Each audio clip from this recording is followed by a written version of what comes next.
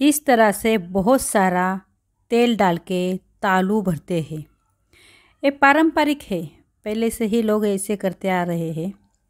जो सॉफ्ट जगह होती है, उसमें तेल डाल के उंगलियों से दबा दबा के तालू भरते हैं।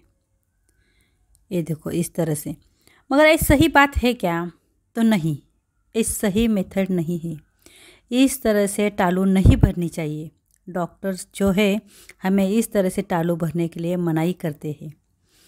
पहले कैसे कुछ चीज़ों के रिसर्च नहीं होते थे, अभी रिसर्च में ये पता चला है, जो सॉफ्ट एरिया रहता है बेबी का, टालू का, वहाँ टच ही नहीं करना चाहिए। क्योंकि वो जो स्पेस है सॉफ्ट वाली, वो दो हड़ों की जगह रहती है, इसलिए वहाँ पे प्रेस नहीं करना है। तो फिर कैसी टालू भरनी है? तो ये देखो, इस तरह से करना है। हाथ में तेल लगा के उंगलियों जो है उसका, आगे का एरिया जो है उससे बेबी का पूरा हेड मसाज करना है। इससे बेबी को रिलैक्स लगता है। पूरे बालों को अच्छे से ऑयल लगता है। इससे बाल भी अच्छे आते हैं। आप बोलोगे, इस बेबी के बाल कैसे है? इसके बाल निकाले हुए हैं। इसलिए बेबी के ऐसे बाल है। ये देखो, इस तरह से अच्छे से मसाज करना है।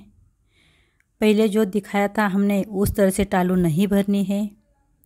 वो गलत बात है, इसलिए देखो, इस तरह से अच्छे से मसाज करना है। जैसे कि हम लोग अपना खुद का हेड मसाज करते हैं, जिससे हमें रिलैक्स लगता है। उसी तरह से बेबी को भी इस मसाज से रिलैक्स लगता है। और मसाज का काम ही वही वही है कि रिलैक्स लगे।